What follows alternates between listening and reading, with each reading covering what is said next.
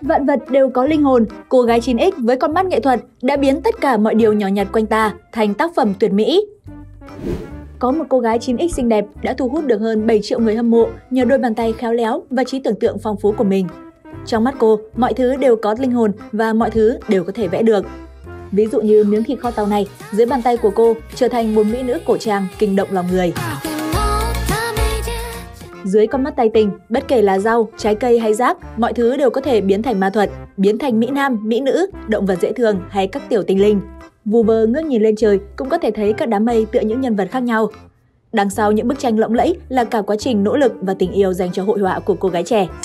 Năm 2020, dịch bệnh Covid bất ngờ buông cô gái chỉ loanh quanh trong nhà của mình. Khi chán nản, cô thấy mầm khoai tây hơi dễ thương nên bắt đầu sáng tạo. Dưới nét vẽ tuyệt vời của mình, những mầm xanh trên củ khoai tây đã biến thành những vị thần nhỏ mặc hán phục, đeo gậy và đung đưa quạt một cách nhàn nhã. Khi cô đăng những tác phẩm của mình lên TikTok, nó đã nhanh chóng viral. Khi ngắm nhìn những tác phẩm của cô, bạn sẽ thấy rằng mọi thứ trên thế giới đều có thể được nhìn dưới góc độ khác và trở thành một nhân vật mới đẹp đẽ. Mọi người đều khen ngợi khả năng sáng tạo đáng kinh ngạc của cô gái. Chia sẻ về điều này, cô nhẹ nhàng nói rằng cô chỉ chọn nhìn đồ vật từ một góc độ nhỏ mà thôi.